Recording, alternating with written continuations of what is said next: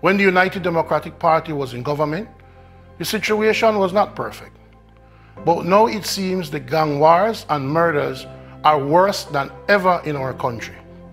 And it is time for the government and people to make some serious changes before the situation becomes irredeemable. Our people have completely lost confidence in a police department that is headed by an absentee minister who is more occupied with devising plans to sell cannabis than developing common sense solutions to arresting crime. The Ministry of Home Affairs is no place for a leader who disappears in times of crisis nor refuses to seek help from the opposition and other social partners as he has done so far. It is now certainly time to put an end to the failed Kareem Musa experiment. In moving forward, we need all hands on deck.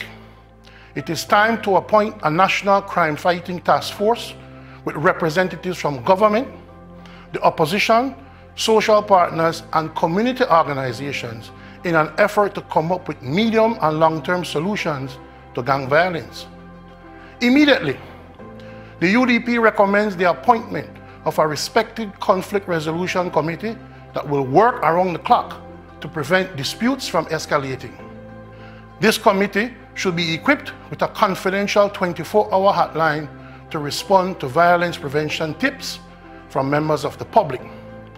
Also immediately, in order to restore a sense of security to residents as we approach Easter weekend, the government should seriously consider utilizing the preventative detention mechanisms to target those who are currently terrorizing our community and robbing residents of their peace of mind and their right to live in a safe environment.